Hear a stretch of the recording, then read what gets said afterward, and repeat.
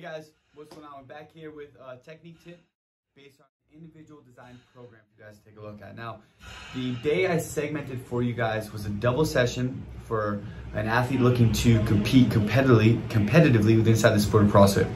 This person has the ability to do AM PM sessions.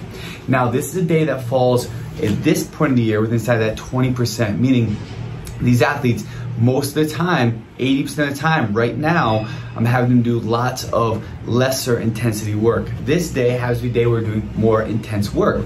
Okay, so for that being said, the AM row session for this athlete is gonna be a pushing effort.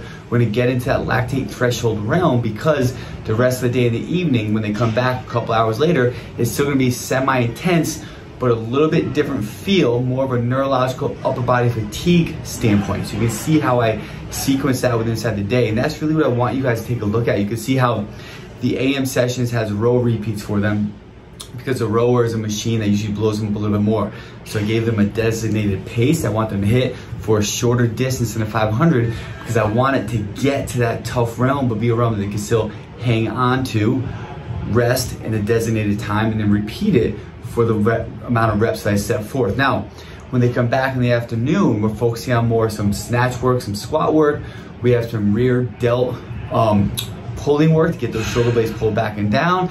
And then the workout itself is what I call a CP or a battery upper body potential workout, meaning it's gonna be movements and reps focused for this person on their upper body in a way that's gonna be cause more fatigue and or buildup so they can't really push the intensity due to being able to have to do the reps in an unbroken or systematic fashion, okay? And that's gonna cause more fatigue and buildup for them.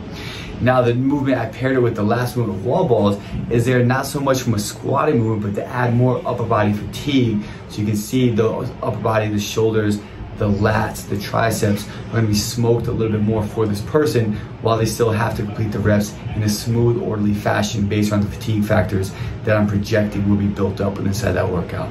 So here's a section for you, a competitive CrossFitter, double session, and this is why I did what I did.